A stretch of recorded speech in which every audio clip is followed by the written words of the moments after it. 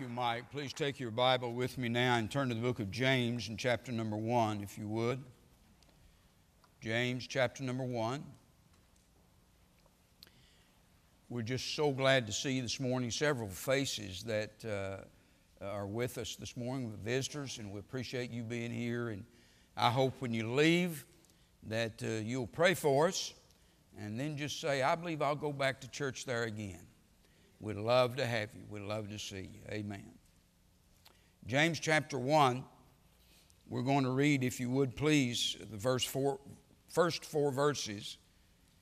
And the Bible says, James, a servant of God and of the Lord Jesus Christ, to the twelve tribes which are scattered abroad, greeting.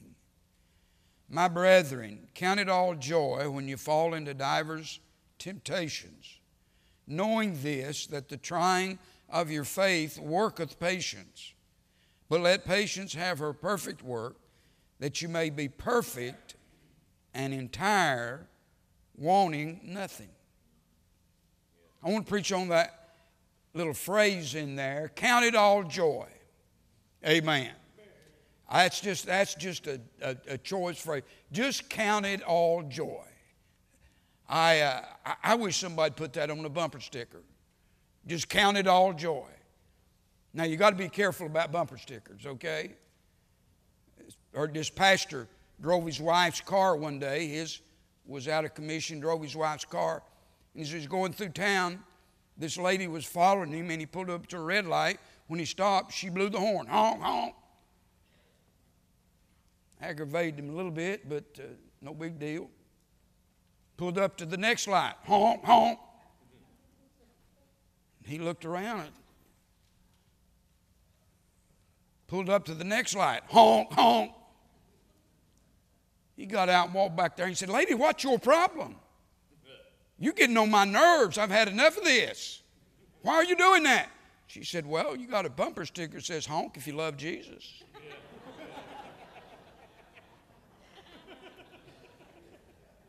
Oh, okay. Yeah, right. I knew that. Okay. Count it all joy. That's simply saying all things that come into your life, just mark it up to hallelujah anyhow. Just count it all joy. Now, it doesn't say count it all joy when you get a raise. You don't have to have any preaching to do that. Doesn't say count it all joy when you get that promotion. Oh, we're, we're full of ourselves then. But it says when these circumstances come, and he's given them to us in the previous verse, don't get bitter, don't get discouraged, just count it all joy. I'm going to look at five scriptures this morning, beginning in this one of situations and circumstances that we find ourselves in, all of us do, and yet the Lord says, don't react according to your flesh, react spiritually, and just count it all joy. And, and you need, you know what?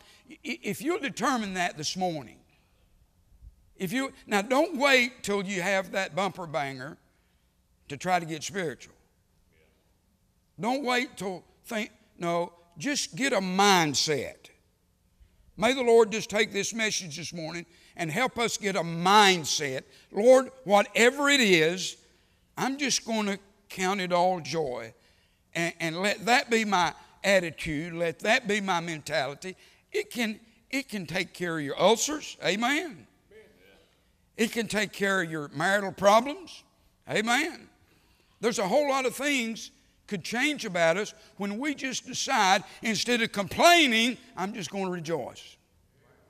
Count it all joy. First of all, when trials come your way.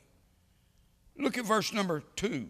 My brethren, count it all joy when you fall into divers temptations or trials. Knowing this. Now, uh, you, are not a mental case when you, when you count it all joy. You do it because there's some things that you know. He says, knowing this, that the trying of your faith worketh patience. But let patience have her perfect work. This is what he's trying to accomplish in our life that ye may be perfect, entire, wanting nothing. Okay?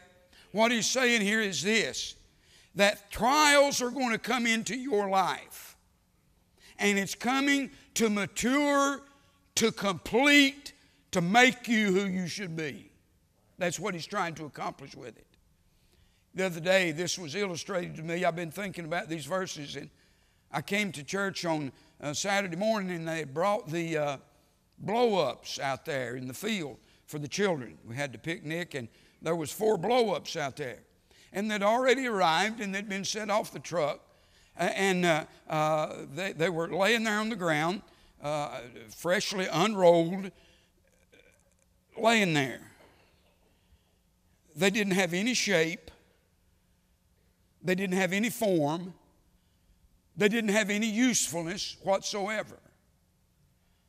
But when you start that generator and hook that fan up, you begin to watch them, and they just begin, it's kind of creepy. You see them just kind of begin to fill up. And pretty soon, the different segments pop out and pop up and boom, and you look and you say, Now I see what it is. Why? Because it has come to maturity. It has been filled up. All the lacking in it has been filled up. And what the Lord here is saying here is this you're not going to be what you're supposed to be. You're not going to be what I want you to be. You're going to be lacking. You're going to be immature until the trials of this life work in you to produce a maturity that nothing else will. And after a while, you become the child of God God wants you to be. Look, look at what it says there, if you would, at the end of verse 4 that you may be perfect. That means complete, mature, entire, complete, not lacking anything.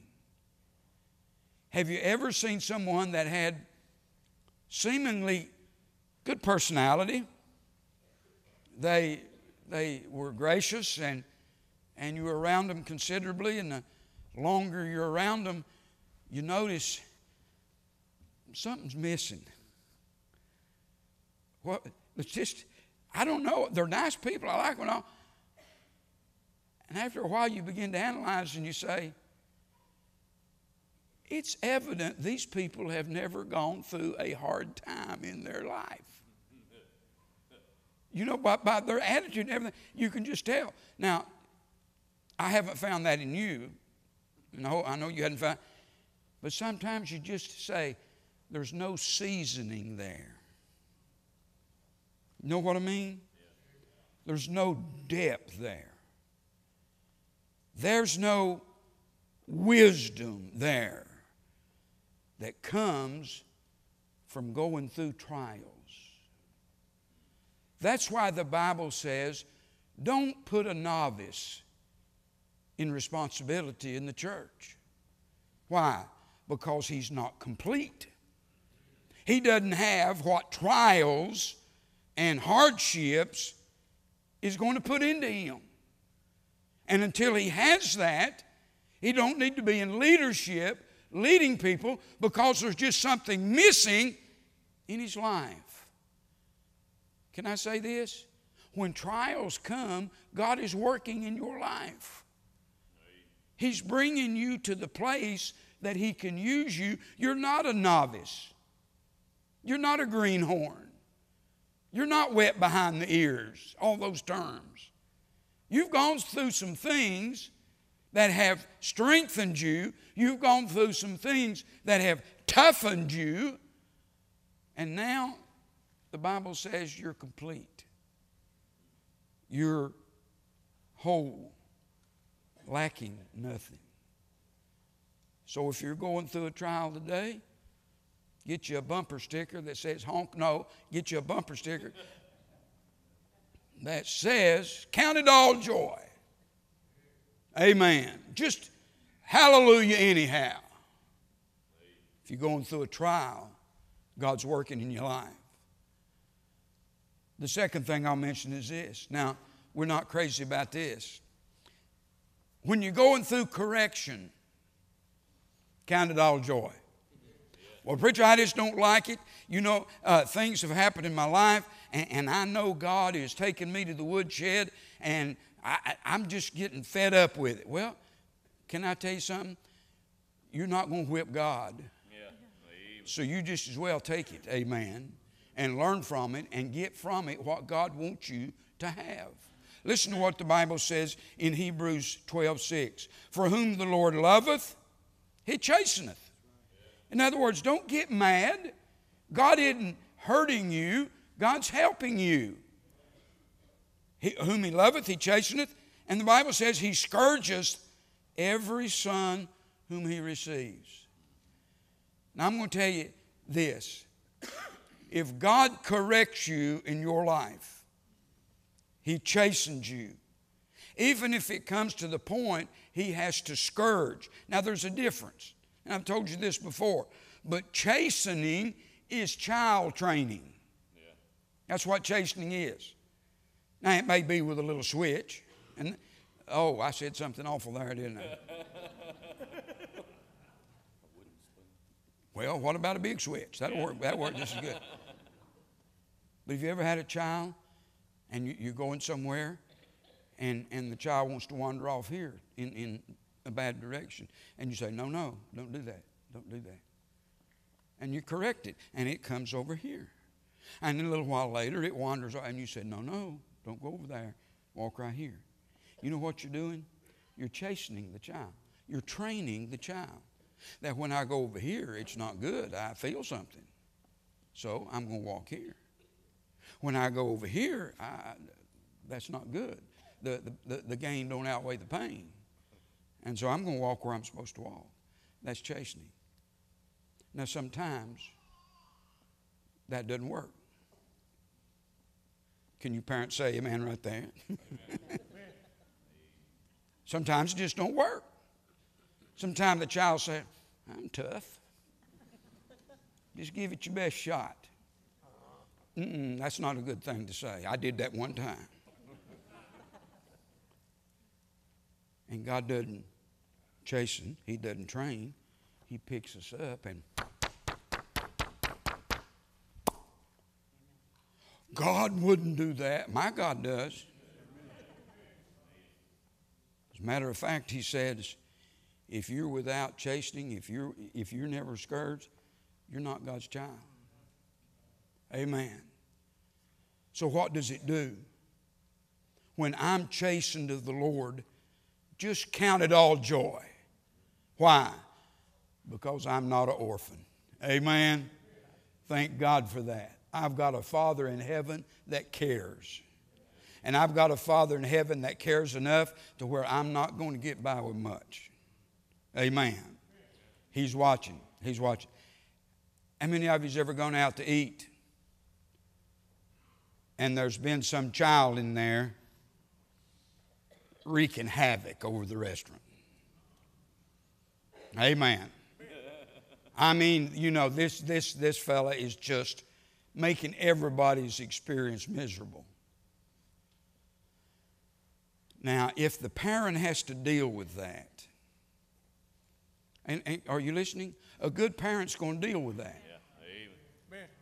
Well, so, preacher, where are you going on this? You just listen. This is good preaching. Yeah. A good parent's going to deal with that. Now, if, if a, a, parent comes over and picks a child up and say, let's go to the bathroom, I'm not calling child services on him. I'm going to say, hallelujah, and try to eat before he gets out of the bathroom. Amen.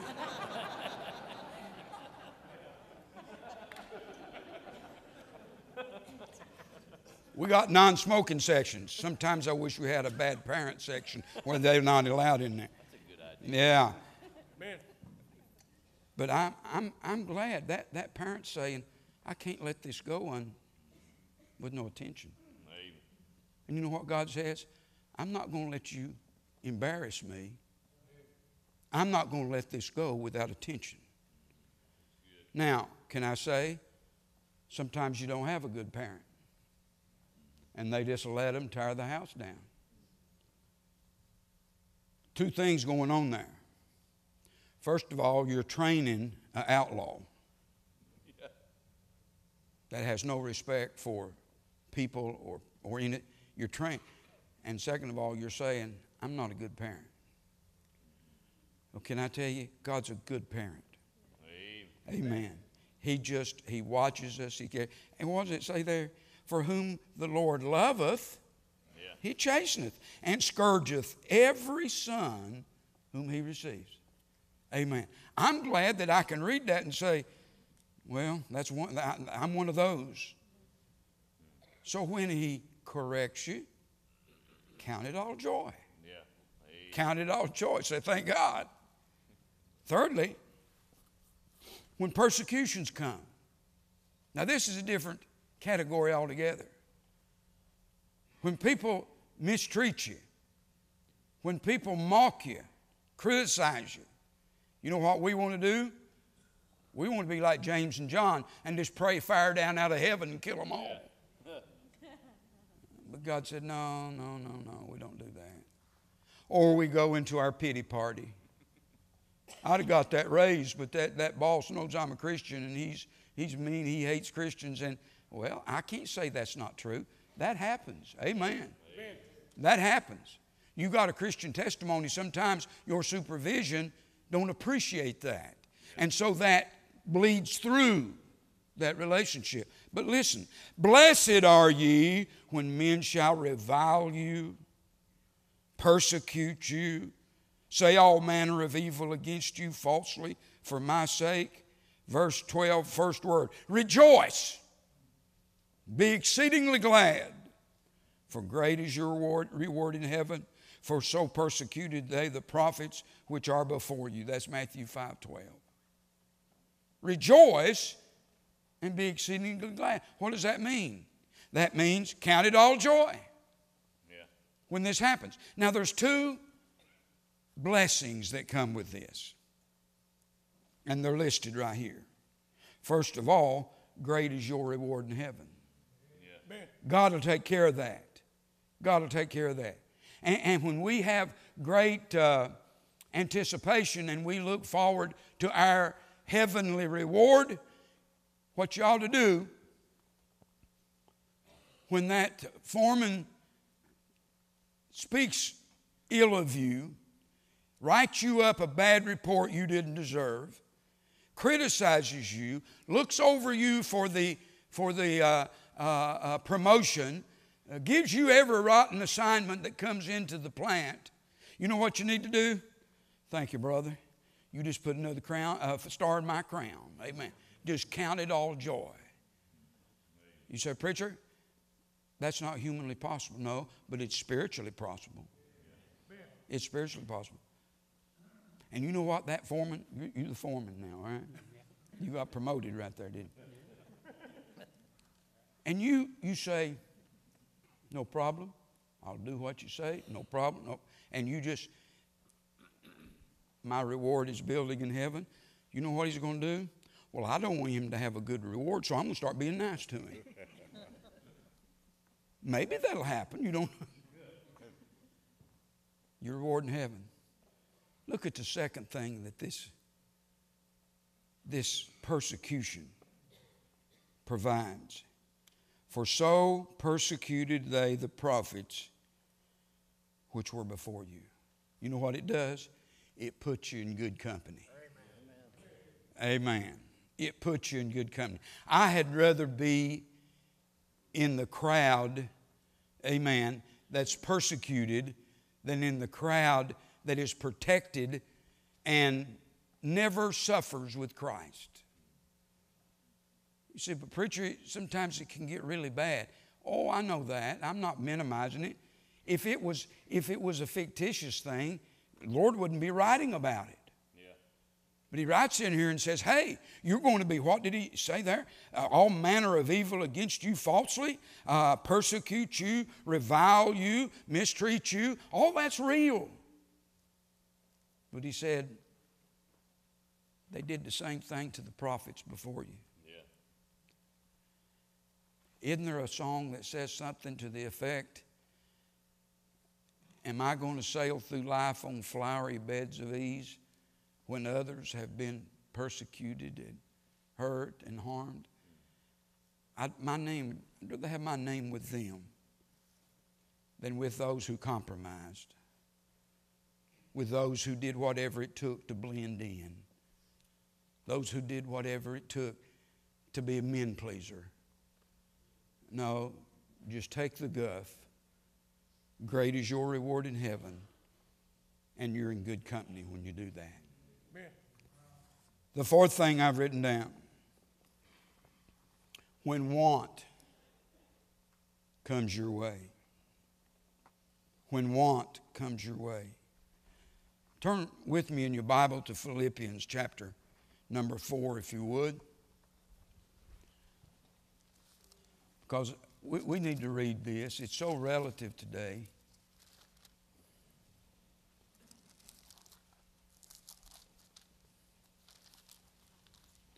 Philippians chapter 4. Now I said, when want comes your way, when you are lacking, when you don't have what you feel like you need, and you certainly don't have what you want, when you have to do without. Let's, let's read uh, beginning in verse number 10, Philippians 4. But I rejoice, there's the word, count it all joy I rejoice in the Lord greatly that now at the last, at the end of my life, your financial care of me hath flourished again. You're supporting me. And I appreciate it, he says. Wherein you were also careful. You always wanted to, but you lacked opportunity. You just couldn't. Now that I speak in, in, in, I'm sorry, not that I speak in respect of want. He's, I'm not saying this because I'm lacking. I'm not saying this because things are lean and I, I, am lacking in things I need. He says that's not where this is coming from. He said, Not that I speak in respect of want, for I have learned. Are you listening, folks? when you go through times of need, you're going to learn things you're not going to learn anywhere else. Yeah. Paul said, I, I, I'm not talking about my needful condition because my needful condition has taught me some things. He says, I have learned both how to uh, be abased and, and how to be abound. I know how to be full, I know how to be hungry. And in all things, I'm instructed both to be full and to be hungry, both to abound and suffer need. Paul says, you know, it's, it's kind of like a roller coaster. Things are going great, and then things are not going so great. And then things pick up, and then things get worse. And he said, You know what I've learned how to do? I've learned how to flourish in both times. Yeah. I've learned how to do without, and without it making me bitter, without it making me critical. I've learned how to flourish without it making me spoiled. He says, I've done that. And then he writes that famous verse For I can do all things through Christ that strengtheneth me. Now, people have misused that verse and said, well, you know what Paul is saying? Man, I can, I can uh, defeat lions and I can defeat bears and I can jump tall buildings in a single bound, stop a speeding bullet. No, that doesn't say you're Superman. What it says is, whatever comes down life's road, you can take care of it. Yeah. And through whatever comes into you, you can say, Count it all joy. Count it all joy. Now, let me take just a moment and talk to parents. Don't look at me, don't raise your hand, and don't cross your eyes and shake your head. But I wonder how many of us break our necks to make sure our kids have more than we had. How many of us sacrifice to make sure our kids are not neglected, maybe like we were. don't have to go through these hard times. I don't want my kids to ever have to. And yet, those times of need put into you a character that if they never experience that, they're not going to know. We look back and we say, Boy, I'm glad for that time that there wasn't enough lunch money there and we had to go through the couch, amen. And, and uh, anybody else know what I'm talking about? I'm glad for those days when we had to pray and say, God, there's nothing in the refrigerator. I'm so glad that we went through that and it causes us to believe and trust in God, and yet we will not dare let our children go through that. You know what I say when my kids come? God bless you, be you warmed and filled. Get out of here.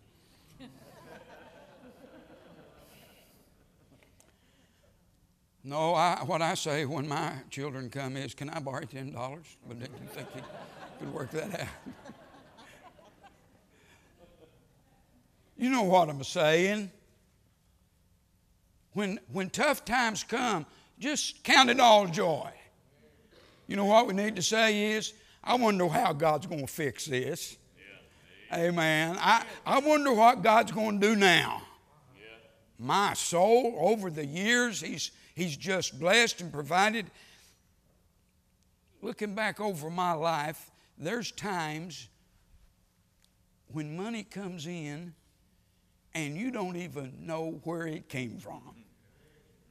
I mean, it's just hallelujah. Good time. And then somehow the spigot gets turned off. And you say, man, this is not so much fun. But you know what? God loves you just as much when the spigot's off as when it's flowing. And you be faithful to God and do what's right. And, and just you know, I, have told you this little stupid thing before, but I told Carolyn one time, I said, if we starve to death, amen, you tell people I had a heart attack. Don't you tell them we starved to death.